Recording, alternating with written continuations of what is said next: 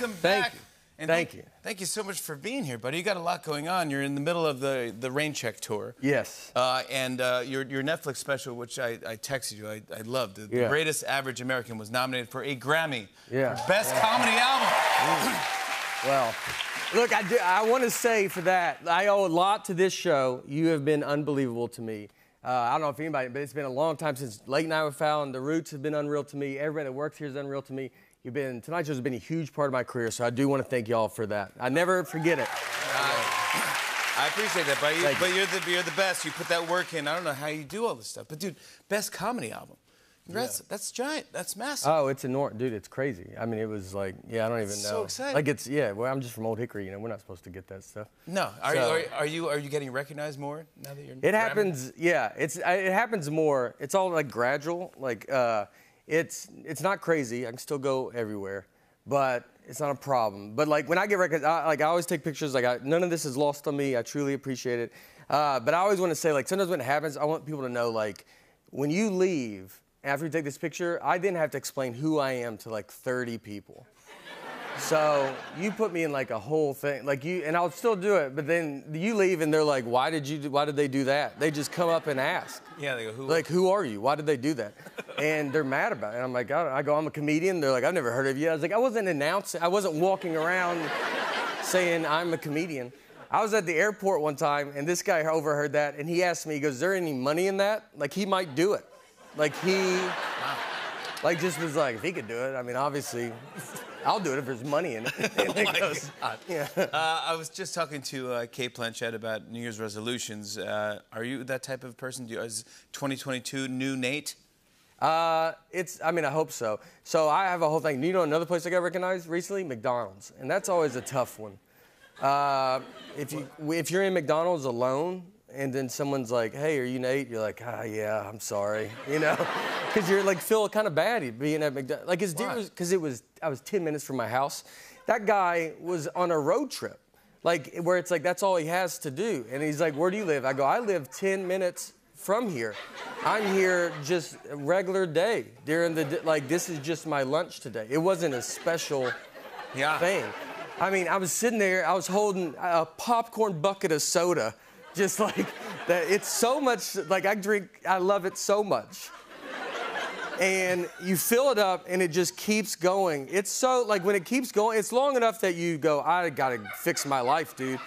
And then, It just keep coming. and it just keeps coming. Like you have a long time to think about it, and then you, I'll take a little sip to make sure everything's cool, and then I'm like, well, I'm about to fill it back up. You know, I don't want to get stuck out. What if I get lost in the road somewhere? And and then he took a pic. Then we took a picture, and I had it was. I love. I love McDonald's. We should show McDonald's more respect. To be honest. Yeah. People go in there with sweatpants. You should have a tuxedo. It's the most successful restaurant in, on earth. Yeah. Should be like, it's an honor you even opened the door for me. I come from nothing. So, Yeah. That's you feel like people should give that more respect, but that's yeah. But But, it's, but you can't do that much of it. I think, too, you know what's hilarious, too? So uh, I have a podcast, the Nateland podcast. Hello, folks, the people listening. But they, it's, uh, I, I told that I've my mouth has been dry lately. And uh, I said it on the podcast, and they were like, you probably have type 2 diabetes.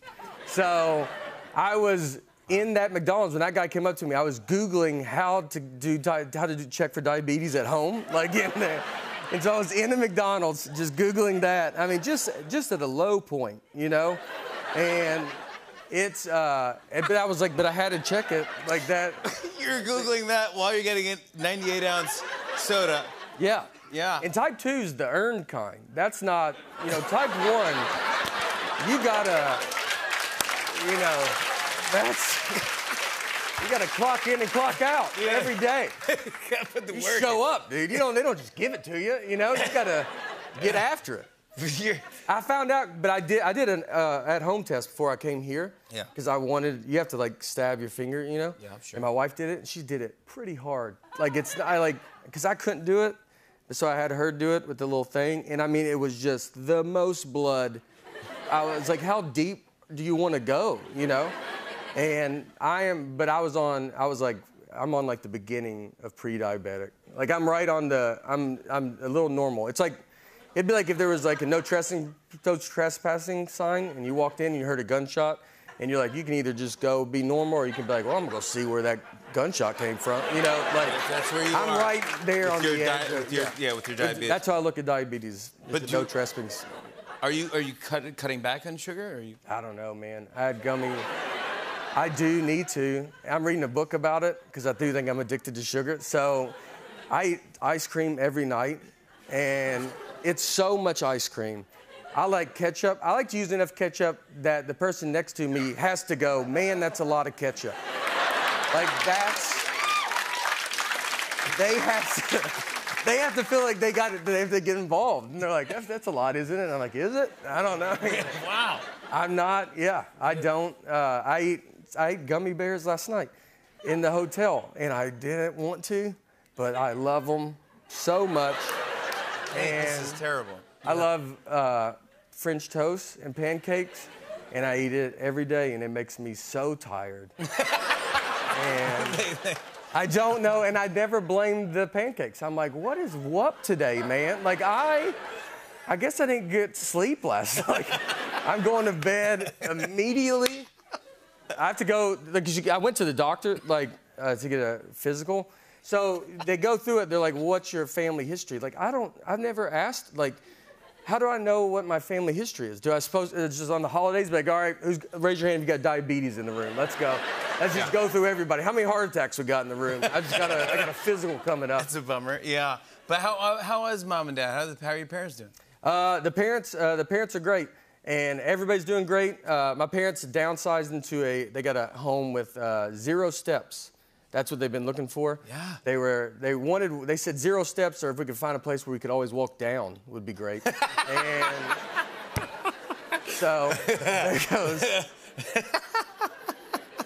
yeah, exactly. We found them one with zero steps, and so my mom, uh, she's at the age she wants a koi pond. There's an age you never want one, then you hit an age and you're like, that's all I've ever wanted. So we were gonna go get her a koi pond for. We did one for this past Mother's Day, and so we were gonna go dig the hole and do it ourselves. And dude, I don't know. Have you ever dug a hole before? Because it's maybe the hardest thing you ever do in your life. You see it on TV and movies, and you're like, I'll just dig this hole real fast. And you start doing it, you're like, I guess it's all CGI, because it's impossible. digging a hole. you can't get takes forever. And it made, you know what it did? It made me realize, I was like, this is why so many people get caught when they kill someone with a shallow grave. That's how hard digging a hole is. Even when you're digging the most important hole of your life. it's so hard that you're like, all right, I think that's good enough right there. You know? No one will ever And find it. someone's, they're like, oh, Cover it up. be- You're like, well, his hand's sticking out. You're like, put a leaf over it, dude. No one's gonna come up here. Cover the yeah. It's so hard that I swear to you, my mom's koi pond is above ground. We just, we couldn't An do it. above ground above koi ground koi pond. pond. You're welcome, Mom. Uh, Nate Bargatze, thank you so much for coming Dude, on our thank show you. every time. The Greatest Average American is streaming now on Netflix. Check out natebargatze.com for tickets. See him live on the Rain Check Tour. Hey, hey,